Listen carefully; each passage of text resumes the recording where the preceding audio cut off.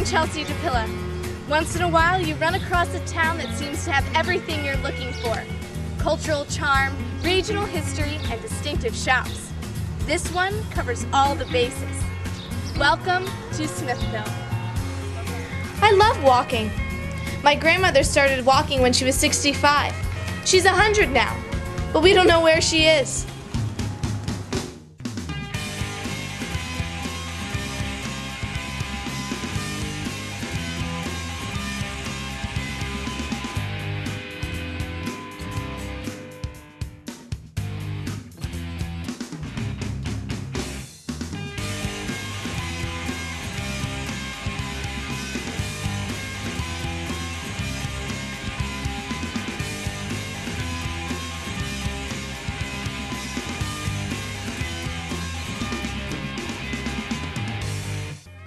Today was a very full day.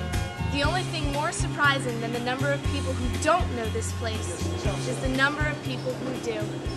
Bye.